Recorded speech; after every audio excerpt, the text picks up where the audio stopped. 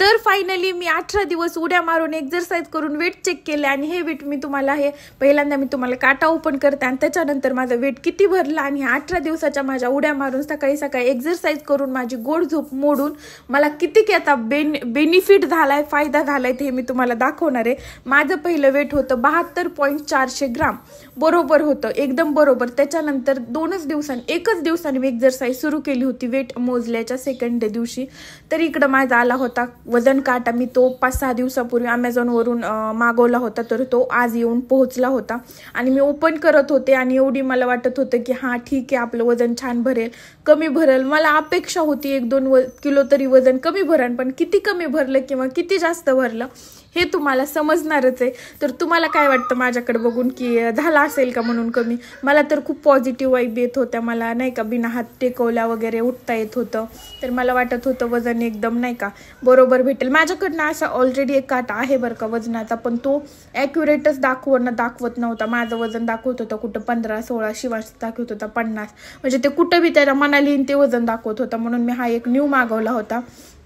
हा होता चारशे नव्वद रुपयाचा म्हणजे ऑलमोस्ट पाचशे रुपये मी याच्यामध्ये इन्व्हेस्ट केले होते. वजन चेक करण्यासाठी कारण आणखीन भारी वाटतं ना रोज वजन चेक केलं रोज वजन चेक केलं.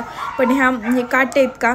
तर ह्या काट्यावर पहिला पण सेम असाच होता पण त्यांनी काही बरोबर दाखवलं नाही. सो मला खूप वाटत होतं ही हा पण बिघडतोय की काय का चांगला निघतोय. पण गेल्या वेळेस तर काहीतरी तीनशे साडेतीनशेचा होता हा थोडा महागाचा होता.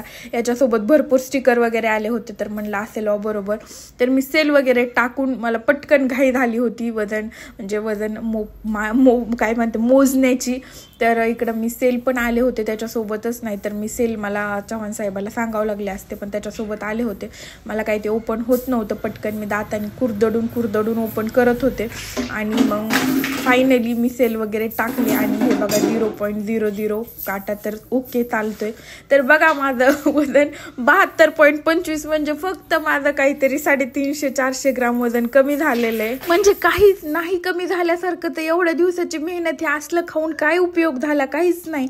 मी एवढी होते ना, अक्षरशः मला काय करू करू तेच एक तरी किलो वज़न कमी व्हायचं, अहो, काहीच कमी झालं नाही. आणि फॉलो करत गोड नव्हते खात.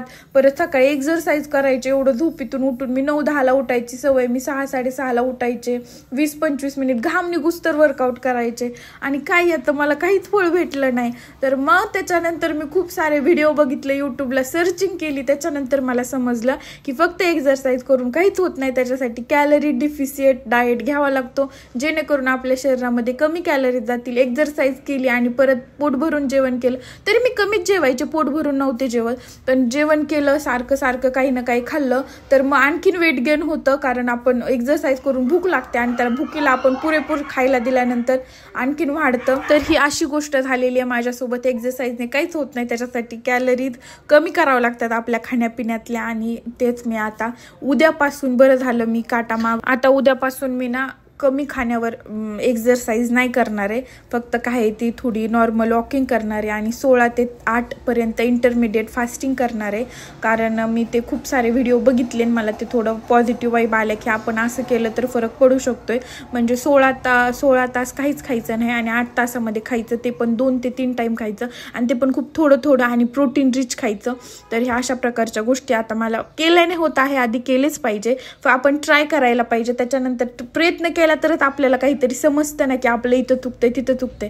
जर मी प्रयत्नच केला नसतं, तर मला हे समजलंच नसतं की फक्त एक्झरसाईजने काही नाही होत. कमी खायला पाहिजे, कमी कॅलरीजचं खायला पाहिजे. अशा गोष्टी आता थोड्याफार आल्यात माझ्या लक्षामध्ये. तर उद्यापासून मी म्हणजेच तीन डिसेंबरपासून आहे चार डिसेंबरपासून इंटरमिडिएट फास्टिंग करते. सोळा तास पूर्ण उपवास उपवास फक्त ब्लॅक कॉफ़ी आणि पाणी घ्यायचं. आणि त्या आठ तासामध्ये दोन ते तीन टाईम म्हणजे मी एक प्रोफेशनल डायटिशियनकडून प्लॅन घेतला आहे तर तो मी प्लॅन तुम्हाला नेक्स्ट व्हिडिओमध्ये दाखवते.